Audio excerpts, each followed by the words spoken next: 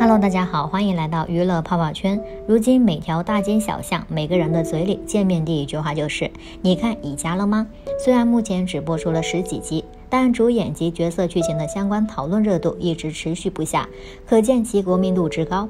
这几天以家人之名剧情飞速发展，尖尖毕业后创业木雕工作室，大哥小哥也都回来了，甚至开启了奇怪的三角恋模式。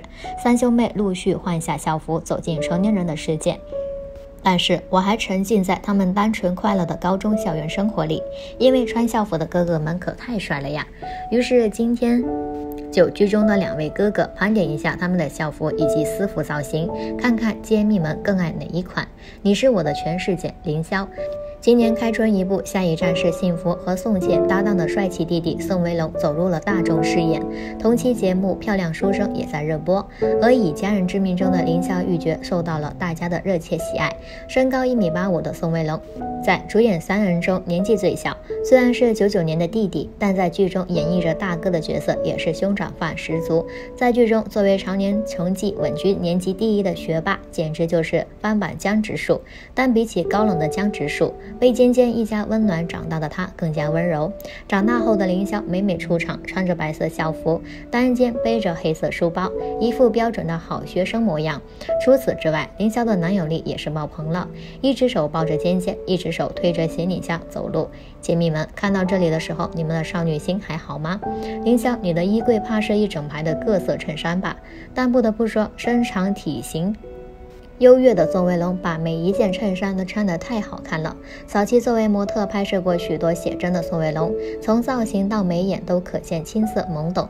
光是一件简单的白衬衫，都让他穿出了男模 feel。钟爱黑色的宋威龙在去年冬天仿佛开启了男友模式，每一套 look 配上他修长的身材，简直是行走的衣架子本家。林霄，我决定代表揭秘们，把西瓜最忠心的心。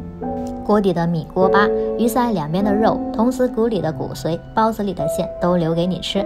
有事哥罩着你。贺子秋、张新成这几年一直在演员的道路上稳步前进，从《你好旧时光》中的林阳，到《大宋少年志》中的袁仲兴，再到如今以《家人之名》中眼圈一红就让人心疼不已的小哥贺子秋。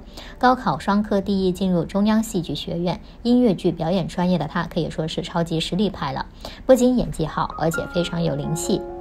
在《你好旧时光》中，身穿经典款蓝色校服的林阳是多少人心目中的白月光。张新成是名副其实的校园男神，每一套校服造型都让人记忆深刻。以家人之命中喜欢打篮球的小哥贺子秋和校服的适配度也是百分百。李尖尖上高中第一天，贺子秋歌力爆棚，谁要是欺负你，小哥揍他。在这个五口之家，贺子秋长成了一个阳光大男孩，也是个名副其实的宠妹狂魔，帮李尖尖洗袜子，肉都夹给他吃，带他逃课去网吧打游戏。小哥的校园造型也是深得我心，除了常规的校服以外，喜欢打篮球的贺子秋还有一套篮球服造型。女孩们在校园里最欣赏的两种人：帅气学霸、篮球队长。一家都献给大家了。成年后的贺子秋，相比凌霄私服造型上更加活泼一些，更多的使用衬衫、外套、T 恤的形式进行搭配。对于长居片场的张新成来说，穿长服的机会确实是比较少的，但不难看出他私下是个妥妥的大男孩风。不论是走机场还是录制综艺，眼镜这个配饰的选择都给他加分不少。